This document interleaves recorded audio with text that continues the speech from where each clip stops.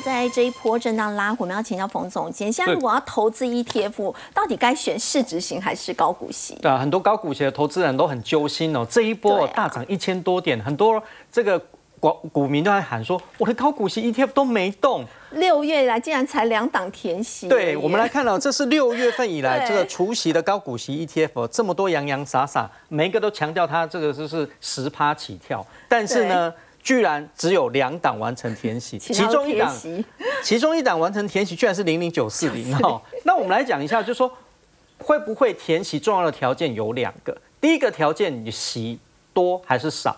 因为你息越少的话呢，你就缺口比较小。对，啊，像零零九四零，它只有零点零五，配的少，所以就配的少就对。那如果缺口它配的多的话，这个部分来讲就比较不容易一点。那第二个条件是什么？你的成分股，你的成分股表现不够强的话，基本上来讲，就算你这个年化配息率再高的话，其实都没有用。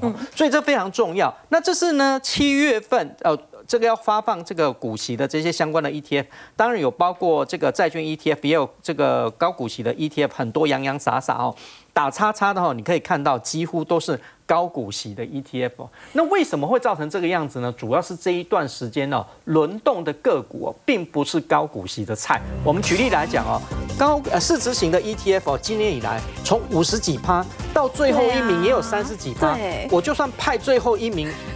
来打的话，通通都赢所谓的高股息 ETF，对不对？对耶，今年三十二趴，哎，都全部全部赢，对，全部完胜。所以你就知道说，今年来讲啊，高股息是比较闷一点。是，但市场上就是这样。因为呢，去年是比较流行所谓的高股息，今年比较流行市值型，所以在下半年布局，我觉得不妨慢慢。